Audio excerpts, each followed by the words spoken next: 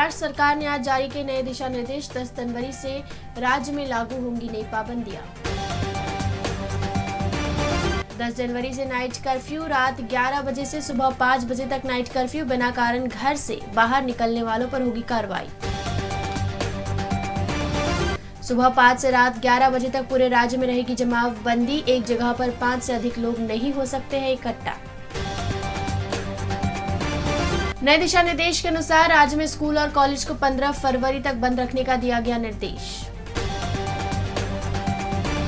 सार्वजनिक वाहनों में फुल्ली वैक्सीनेटेड लोगों को अनुमति नाइट कर्फ्यू के दौरान सिर्फ़ आवश्यक सेवा से जुड़े लोग कर सकते हैं यात्रा।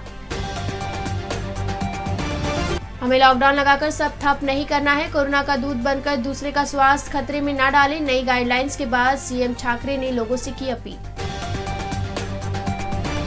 स्पा जिम ब्यूटी सलून पूरी तरह रहेंगे बंद। वही hair cutting salon, hotel, theatres को रात 10 बजे तक 50 फ़ीसदी क्षमता के साथ अनुमति।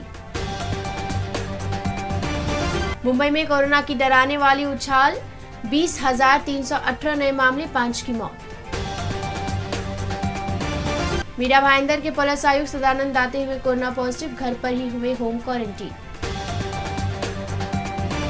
मुंबई में कोरोना के चलते 120 इमारतें हुई सील, वहीं कंटेनमेंट जोन की संख्या नौ।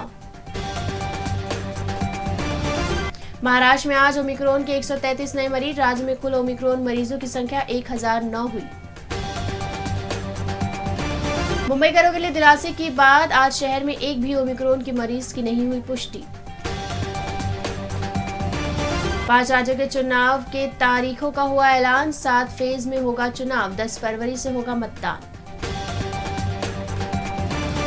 महाराष्ट्र में आज कोरोना विस्फोट। बीते 24 घंटों में इकतालीस नए मामले। एक्टिव मरीजों की संख्या एक लाख तिहत्तर हज़ार दो सौ अड़तीस।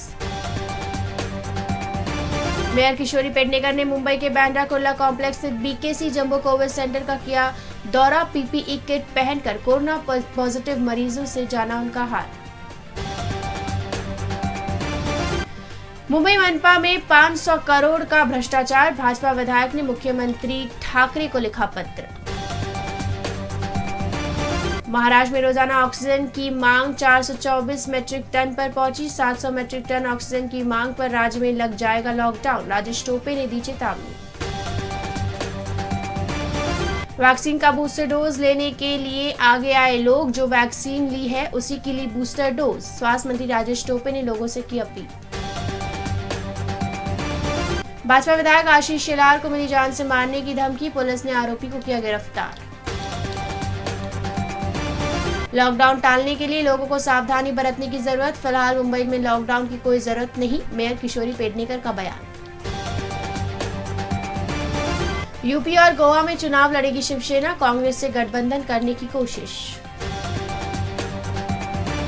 ओमिक्रोन के बढ़ते खतरे से ज्येष्ठ नागरिक गर्भवती महिला और बच्चों का विशेष ध्यान रखो। एक नाथ शिंदे की लोगों से अपील। केंद्रीय रेल राज्य मंत्री राव साहेब दानवे हुए कोरोना पॉजिटिव ट्वीट कर लोगों को दी जानकारी। मुंबई में आज सोने चांदी के दामों में आई बढ़ोतरी, सोना अड़तालीस हज़ार छह सौ रूपए तोला, वही चांदी साठ हज़ार सात सौ रूपए किलो।